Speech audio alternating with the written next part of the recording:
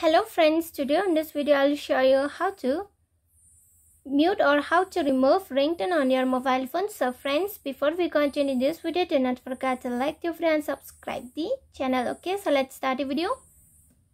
First of all, you have to move on setting, then click on sound.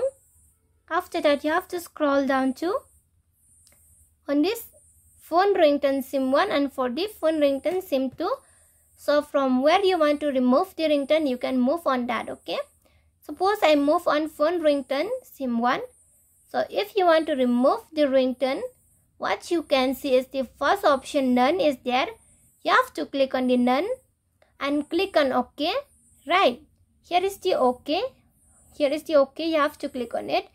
At first you have to click on none. Then only click on OK. And this phone ringtone for the SIM 1 will be removed from your mobile phone. Okay. If you want to remove for the SIM 2, just click on SIM 2. Then click on the first option none. You have to scroll like this. Then click on the first option none. And click on OK. And this ringtone will be removed. Okay. You can remove the ringtone like this. And friends, if you love the video, do not forget to like the video, share the video and subscribe the channel. And thanks for watching.